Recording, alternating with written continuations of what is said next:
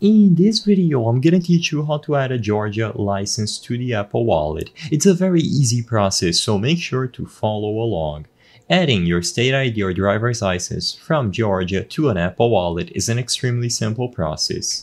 All that you have to do is open the Apple Wallet on any iOS device and tap the plus sign located at the top right corner of the home screen to add a new type of ID. You will be able to add a state ID or driver's license like I mentioned. Keep in mind that this option is only going to be available if your location is set properly, so you must be located within Georgia as you might expect. Otherwise, the option will not be available and unfortunately there is no workaround to this. Your location needs to be within Georgia. When you choose driver's license or state ID, you will be able to begin the process of adding your Georgia ID to the Apple Wallet. It is very straightforward, but there will be some verification required. So first, you will have to scan the front and back of your driver's license. So position it well within the frame, make sure that all the information is visible, any possible barcodes, documentation, names, dates, etc. And afterwards, do the same with the back of the ID or driver's license.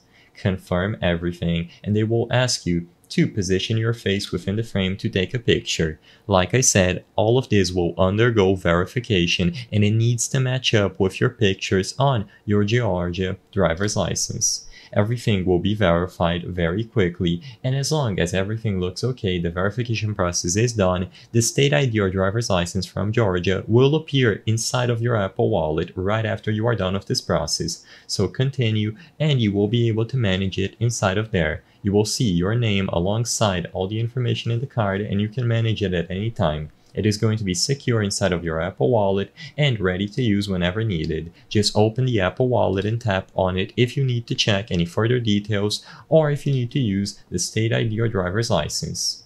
I hope I was able to help you on how to add a Georgia driver's license to Apple Wallet. If this video helped you, please be sure to leave a like and subscribe for more very easy tips. Thank you for watching.